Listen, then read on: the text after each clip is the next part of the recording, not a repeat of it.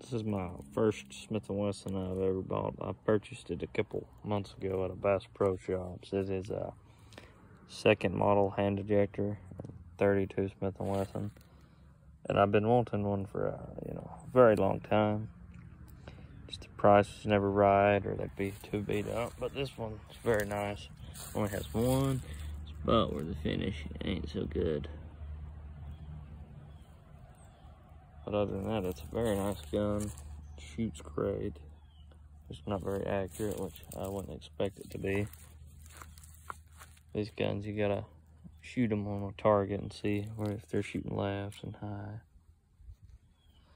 And I haven't been making any shooting videos lately because I just haven't been shooting because this ammo shortage and everyone's price gouging. So I bought some brass and made my own hollow points.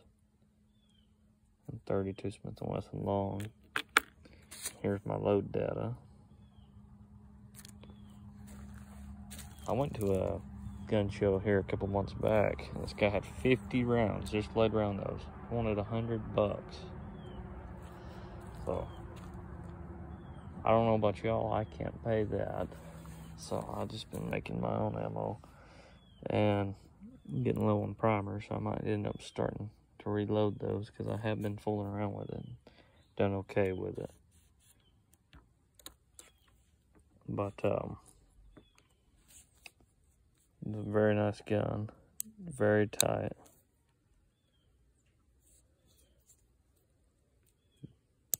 Very stiff springs in this gun.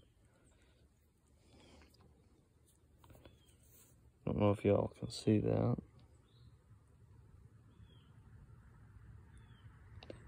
But I did polish it with Flitz because it's starting to kind of like corrode. And I will say that Flitz is very good polish. It's worth the money. What this gun needs is a set of pearl grips though. Once I do find me a set that I like, I'll throw them on here.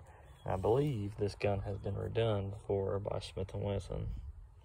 Because it has a star in the serial number. Which I'm not going to show the whole number because, well, you guys know what's going on right now. But, uh, yeah, very nice gun.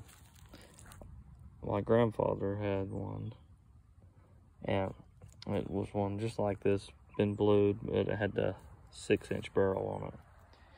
I've been trying to get it off of him from years, but never would get rid of it, so I just decided to buy me one.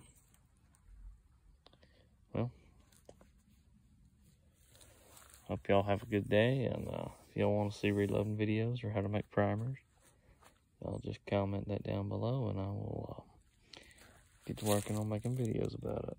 Bye.